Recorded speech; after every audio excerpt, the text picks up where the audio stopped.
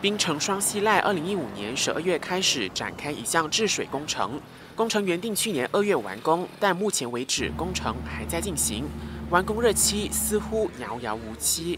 由于治水工程用来分隔道路的石墩没有放置妥当，造成路面凹凸不平，频频传出摩托骑士翻车的事故。此外，当地也没有设置路灯。他们自从做了这个路了。没有灯，没有路灯，晚上很危险。晚上有时人家老人路过啊，OKU 路过也是蛮麻烦的。我们也是也是派我们自己员工去顾嘎巴，要家门小心一点。因为你们也可以看到他们马路，I think 是 safety issue 也是蛮差的一种。另外，当地小贩表示，治水工程还导致小贩中心的地面凹陷，地层里也出现龟裂的状况。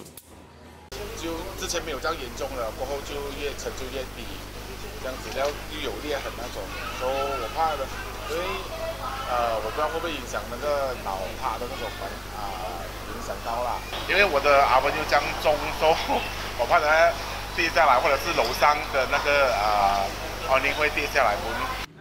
当地商家和居民已经多次向公共工程局等相关单位反映这个问题，甚至直接找上建筑商的办公室投诉，不过还是没有下文。商家希望当局能正视他们所面对的问题，加速完成治水工程，让他们安心做生意。NTV 七槟城采访报道。